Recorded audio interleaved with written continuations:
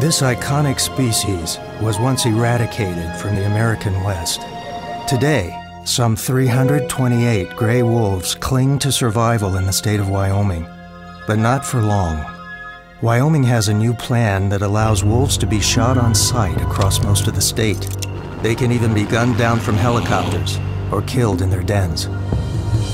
Right now, it's open season on wolves in Wyoming. They need our help.